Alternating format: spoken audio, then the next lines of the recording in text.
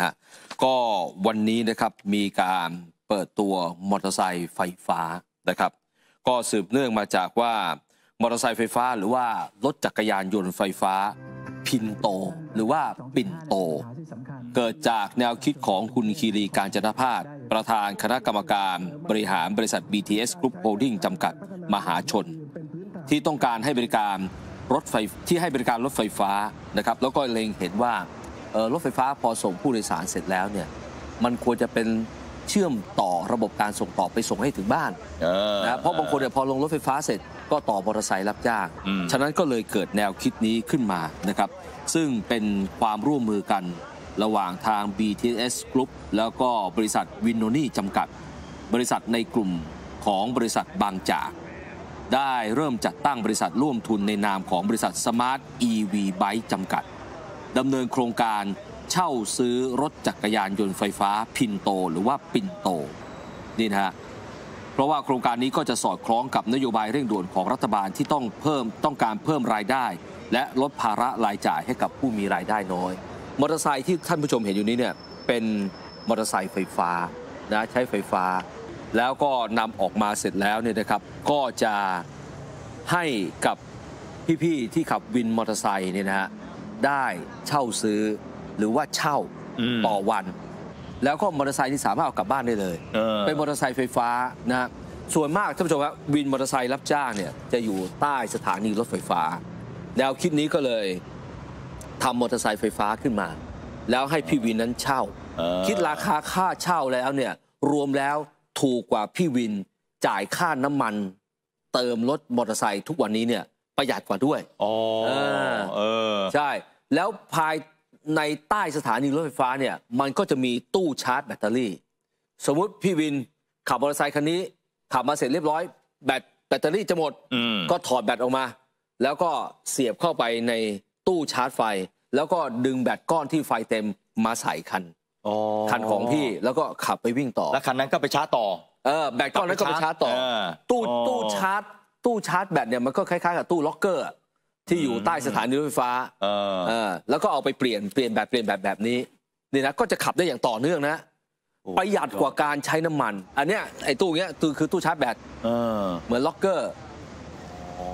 เห็นไหมฮะโอ้รถก็สวยดีนะรถสวยดีคุณจิตโตเนี่ยนะ ใช่ แล้วมันขับด้วยระบบไฟฟ้า ลดมลพิษนี่นะฮะ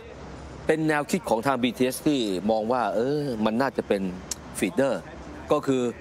มาพอมาผู้โดยสารลงจากรถเสร็จ เกิดเขาอยากจะไปไปธุระต่อที่อื่น ไปห้างหรือจะกลับบ้าน แล้วต้องต่อรถมอเตอร์ไซค์ก็ใช้บริการตรงนี้ได้เลยอืมนี่นะฮะ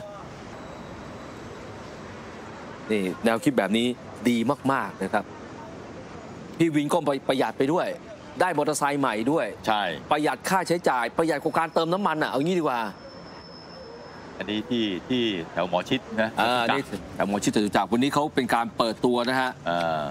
ก็มีทางคุณสมศักดิ์เทพสุทินรองนายกเป็นประธานในการเปิดตัวนี่นะฮะแล้วก็มีนอกจากมี BTS มีบางจาก แล้วก็มีตัวแทนจากกทม ก็เข้ามาร่วมด้วยนะครับดังเช่นโครงการรถจักรยานไฟฟ้าปิ่นโตนะครับที่ ไม่ใช่เป็นเพียงแค่การออกผลิตภัณฑ์หรือบริการทั่วไป แต่ BTS Group ต้องการสร้างโครงการที่สามารถยกระดับรายได้ และคุณภาพชีวิต ให้กับผู้ให้บริการรายย่อย พร้อมกับการอำนวยความสะดวกให้กับผู้ใช้บริการรถไฟฟ้า ดังนั้นโครงการนี้จึงเป็นโครงการนำร่อง และเป็นการวางรากฐานที่สำคัญให้กับกลุ่มบินจักรยานยนต์ ตามแนวเส้นทางรถไฟฟ้าได้เป็นอย่างดี ที่สำคัญโครงการนี้ยังตั้งอยู่บนพื้นฐานการพัฒนาอย่างยั่งยืน ที่มีหัวใจสำคัญคือความใส่ใจต่อสิ่งแวดล้อม ซึ่งเป็นเรื่องที่ทุกองค์กรทั่วโลกให้ความสำคัญ และดำเนินการมาอย่างต่อเนื่อง อืมนี่นะฮะ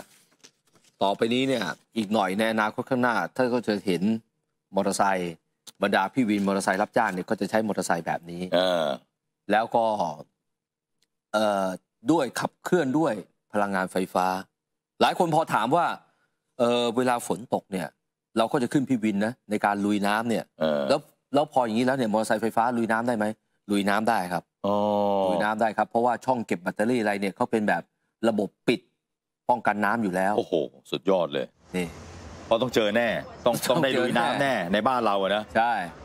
เออมีการคิดเผื่อเอาไว้แล้ว มีการคิดเผื่อไว้แล้ว ปินโตนะฮะภาษาอังกฤษอาจจะอ่านพินโต แต่ภาษาไทยปินโตนี่อันนี้เป็นความละเอียดของคุณคีรีนะใช่คุณคีรีเนี่ยอยากจะส่งผู้โดยสารที่ใช้บริการรถไฟฟ้า BTS เนี่ยส่งให้ถึงบ้านเออ ส่งให้ถึงบ้าน ซึ่งส่งให้ถึงบ้านเนี่ยก็ปฏิเสธไม่ได้ว่า BTS ไม่สามารถส่งให้ได้เข้าไปในซอยอะอย่างมากก็ส่งได้แค่ปากซอยนี่แหละฮะแล้วพออยู่ปากซอยเข้าไปในซอย ทีนี้ก็เป็นหน้าที่ของพี่วินใช่ก็เลยมามาช่วยพี่วินอีกแรงหนึ่งด้วยการจัดปิ่นโตมารับใช้อืมอืมละเอียดนะฮะเออสุดยอดเลยฮะก็จะขยายไปเรื่อยๆนะฮะใช่หลายสถานีต่อไปนะครับ ตอนนี้เริ่มจะเริ่มที่ที่จตุจักรก่อน ที่จะจากก่อนเพราะเป็นสถานีใหญ่นะฮะพี่วินไม่ได้ซื้อมอเตอร์ไซค์คันนี้ด้วยเงินจำนวนมากนะใช่จ่ายเป็นค่าเช่าใช่แล้วค่าเช่าต่อเดือนเนี่ยถูกกว่าที่พี่วินเติมน้ำมันทุกวันนี้ใช่แต่ว่าพี่ต้องเป็นวินจักรยานยนต์รับจ้างที่ลงทะเบียนถูกต้องอยู่แล้วนะเออใช่ต้องถูกต้องนะเต้องถูกต้องอยู่แล้วใส่เสื้อพี่อะวินเถื่อนไม่ได้เออใส่เสื้อพี่คือพี่เคยอยู่ตรงสถานีเนี้ยพี่ก็อยู่ตรงนั้นแหละอ่าใช่ใช่ไหมแต่พี่มาใช้รถคันนี้ซะนี่ จะค่อยๆเห็นเยอะขึ้นเยอะขึ้นท่านผู้ชมฮะใช่ครับ